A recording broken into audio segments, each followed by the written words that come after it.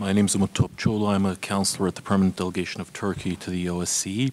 And I wanted to make a few remarks concerning the intervention by the representative of the NGO Mission in Europa, which were made previously in this session.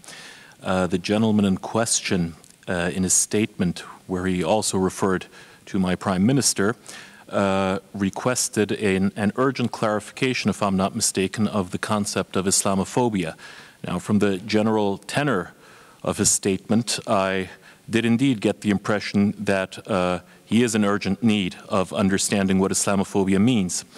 So uh, I wanted to share with you the definition of Islamophobia made by a former personal representative of the chairperson in office of the OSCE on combating discrimination and intolerance against Muslims, Ambassador Orhun, who's currently the advisor and special envoy of the Secretary General of the Organization of Islamic Cooperation.